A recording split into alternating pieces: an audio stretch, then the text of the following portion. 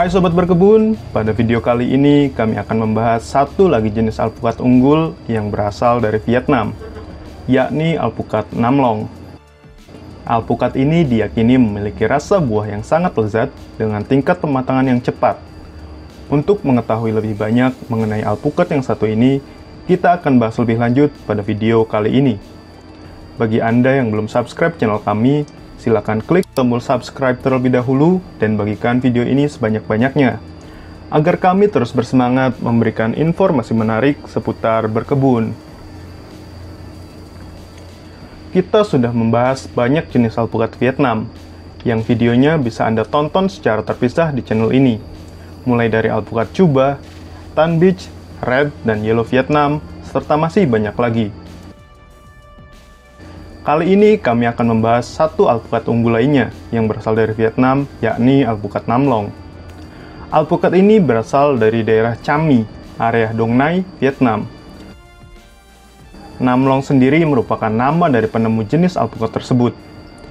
Dari sumber yang kami baca, pohon induk alpukat ini ada di rumah Mr. Namlong, yang ada di daerah Chami, area Dong Nai.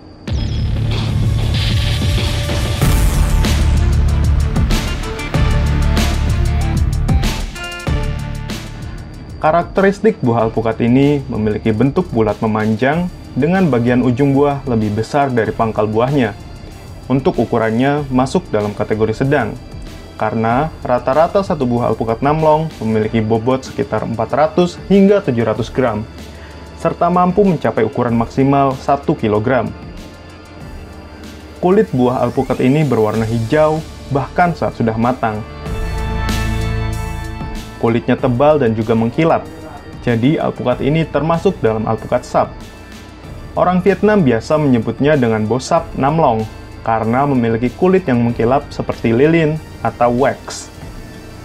Daging buahnya berwarna kuning mentega dengan tekstur yang pulen dan kering. Alpukat ini memiliki kandungan minyak yang cukup tinggi sehingga buahnya tidak berair. Biji alpukat namlong memiliki ukuran yang cukup besar, bahkan mencapai kisaran 45 hingga 50% dari keseluruhan buah. Ukuran biji yang besar ini membuat alpukat namlong dapat matang secara merata. Pohon alpukat namlong dapat tumbuh pada wilayah dataran rendah hingga dataran tinggi.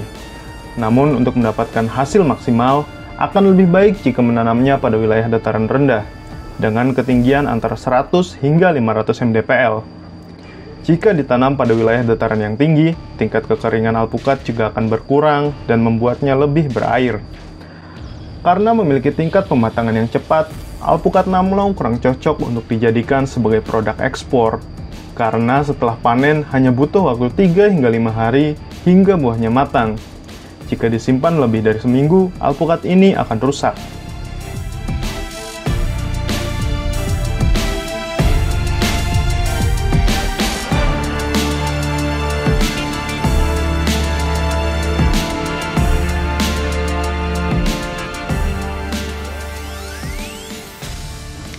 Selain itu, pohon alpukat namlong juga memiliki sifat yang genjah. Apabila ditanam menggunakan bibit yang berasal dari okulasi atau sambung pucuk, hanya butuh waktu sekitar 3 tahun setelah penanaman hingga pohon mampu menghasilkan buah perdana. Di Vietnam, waktu panen untuk alpukat namlong biasanya terjadi antara bulan April hingga Agustus.